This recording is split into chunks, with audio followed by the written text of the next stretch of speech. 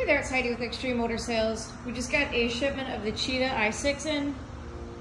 This is Trailmaster's small version of an electric vehicle and they are fantastic. If you're on the fence, don't be. They get like 30 miles to the charge.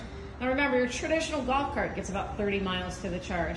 So your kids aren't gonna be crying in 10 minutes like a typical power wheel. that it died and you have to drag it back. I mean, these are actual good vehicles that you're not gonna have to sit there and charge every 10 seconds. They do have a four point seatbelt. They've got an adjustable seat so you can slide forward. The new ones, this is for 2023.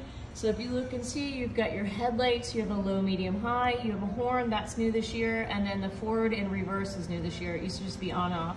Now it actually says forward and reverse. So uh, it also has a meter, an indicator right there, so you know your battery life. It's got great big bright lights on it. These are the colors. This is the green, that's the blue, that's the red.